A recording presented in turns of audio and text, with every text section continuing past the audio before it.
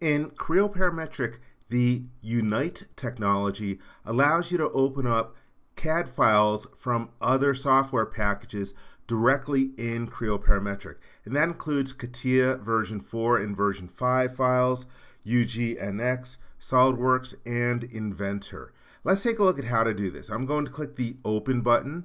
I'm going to navigate to a folder. And right now I don't see any models in here. I will use the drop-down list to change this to all files. Now I can see that there is a SolidWorks file in this folder. If I click the Open button, it retrieves it directly into Creo Parametric.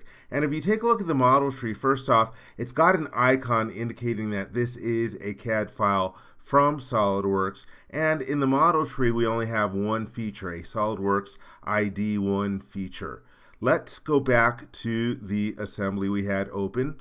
And this particular assembly has a brake rotor, but I want to see what this SOLIDWORKS brake rotor would look like instead. So I can right click on the brake rotor and from the pop-up menu, I can choose to perform a replace operation. I'm going to replace by an unrelated component. Let's click the open button. And uh, once again, I can go to the drop-down list and change it to all files. If you take a look in this list, though, we have our standard Creo files, but here you see the CATIA V5 CAT part and CAT product. Here we have a CATIA V4 model. Here's our SOLIDWORKS, NX, Co-Create, and Inventor. Let's change to SOLIDWORKS because I know that's the format. Then click the Open button. And as normally, I would click the Edit Ref table. And first off, it wants something to correspond to this datum plane called top. As we saw earlier, there is no datum plane in here, so I'm just going to skip that reference tag for now. Let's click on tag 1 and I can see that it is looking for a cylindrical surface. Let's grab this one over here. For the next tag, it wants the back surface. Let's pick this surface here. And then for tag 3, it's grabbing a hole, probably for orienting this or for the different fasteners. Let's pick this particular cylindrical surface. And that's good. Even though I don't have all my tags, I'm going to click OK and then OK to perform the swap. And I do get a regeneration failure. I see a cross section is failing, so I can click on it and edit definition. If I go to the references tab because it's in red, I notice that it's looking for that datum plane called top from the brake rotor part which I just replaced.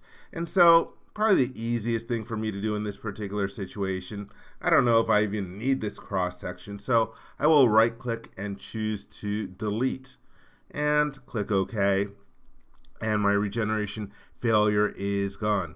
To make it easier for me to see the brake rotor that I've replaced, I'm going to select this component that's in the way and then go to model display, component display style and transparent and create a style state on the fly. And I take a look at the part and I see, oh, you know what? Maybe this particular component is not assembled correctly. So I can click on the brake rotor part from SOLIDWORKS and then edit definition and take a look at the constraints and say, okay, there's my coincident and then this coincident. Let's try flipping this. And oh, you know what? That looks much better hit the check mark. And so I brought in this component and I'm able to edit definition and change its location. So this is a SOLIDWORKS part. Again, let's say I wanted it to be a Creo parametric part. If I click on it and then go to the operations overflow menu, here we have a command to convert to a new Creo model. Similarly, let's say that I activated this part and went about making a change. Let's say I want to throw a fillet on an edge. As soon as I click on the round command, I get asked, you are about to make changes to this part. These changes will not be reflected in the native model. Would you like to convert this model to a new Creo model? And if I choose do not convert, it's not going to convert it. If I choose OK, then we get this convert to new Creo models dialog box and select the conversion option. Convert automatically or use advanced conversion tools. Let's select the radio button for the advanced conversion tools.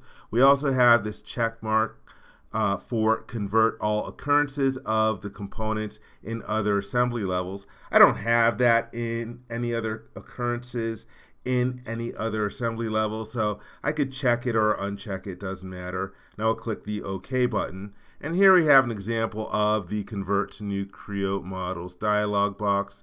And I'm going to make it a little wider in here.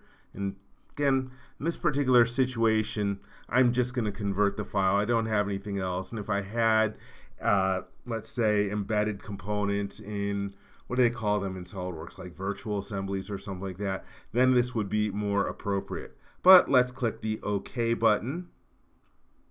And now when I take a look inside of here, here we have the brake rotor part and it's got a special symbol next to it indicating that it is different. And if I click on it and then click open, here we have it. And we've got, again, just different symbols in here. Now we have an import feature, and then I could go about creating and making other different changes to this.